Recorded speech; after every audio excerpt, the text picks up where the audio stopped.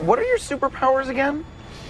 I'm rich. Hello and welcome everyone. In the Justice League, Bruce Wayne tells Flash that his superpower is that he is rich. So how rich is Batman? In this video, we are going to find that out. But before we get started, don't forget to subscribe and press the bell icon so that you will never miss an upcoming update. And with that out of the way, let's get started with our video. How did you get the house back from the bank? I bought the bank. Bruce Wayne is one of the richest people in all comics, and he uses his immense wealth to finance his vigilante activities as Batman. However, Bruce's net worth at any given time is pretty difficult to pin down, since most comics are not explicit about the particulars of his assets. But let's estimate how much would it cost to be a full-time Batman. First things first, the bachelor pad. If you're going to pull off the lifestyle, you'll need your very own Tudor Gothic mansion like Wayne Manor. The exterior shots for the two films in Nolan's trilogy are of Mentmore Towers in Buckinghamshire, UK, which was recently appraised by a real estate website for $32 million. Interiors, though, were shot at the opulent Osterley Park House outside London. An architect who actually builds these types of homes said that it would cost at least $24 million. Now as much as Alfred loves Batman, he doesn't work for free. If you consider a personal butler is paid upwards of $150,000 per year on average, it's safe to assume Bruce Wayne will be compensating his beloved Alfred at least that much. If you're dressing like Bruce Wayne on any given day, you're wearing a made-to-measure Armani suit. On the cheap, those babies will set you back at least $3,000 each, one for every day of the week, plus dress shoes and casuals. That's big money. Talking about his drive, Bruce drives a different Lamborghini in each of the three Nolan films, suggesting he owns at least three of them. The cost of a new Aventador, a Murcielago Roadster, and a Murcielago LP 640 is nearly $800,000, and that's without factoring in whatever else he's got parked in the garage.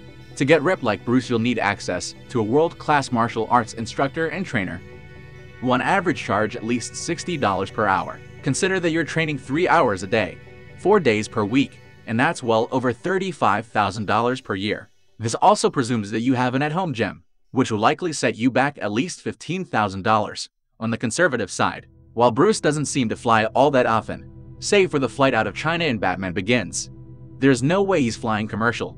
That means owning a jet, or at least chartering one every time you need to skip town. A mid-sized private jet from Pentastar Aviation starts at $2,700 an hour. So how much would it cost to live like Bruce Wayne for a year? Approximately $33 million.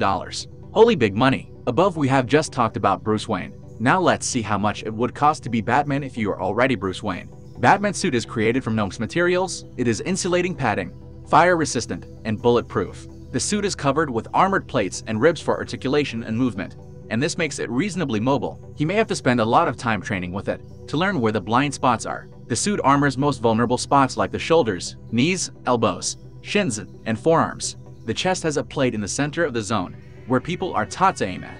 The cape is made of a memory cloth polymer that can be used as a makeshift paraglider, and a suit of armor includes a custom graphite bullet-resistant cowl, and this may run one about $1 million. Now let's have a look at Batman vehicles. The Tumbler was developed for Wayne Enterprises Applied Sciences Division as a military bridging vehicle, covered in weapons and capable of stealth mode operations. Each unit cost a cool $18 million. The Batpod, a motorcycle-like vehicle that acts as an escape vehicle from a burning tumbler has 20-inch wheels and is capable of making a 90-degree turn almost instantly by rotating its wheels, steered by shoulder movements allowing for hands-free driving. It costs $1.5 million, to say the least. The Bat is a hovering, Harrier-like vehicle capable of VTOL, flight, and acceleration. The estimated cost is $60 million.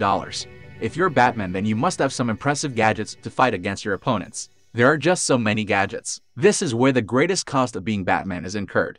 Rebuilding the mansion, security, bat supply kits, grounds, hollowing out, and reinforcing the Batcave, gun ranges, installing supercomputers, the private forensic labs, medical facilities, the turnabout, more cars, and all this comes to half a billion. This is not inclusive of Wayne Manservant's fees as both butler and security for the estate. That's another $240,000 annually, which will sum up to almost a billion. So, now if you're thinking of becoming Batman then check your bank balance first. So, Batman is not really kidding when he says one of the superpowers is being rich.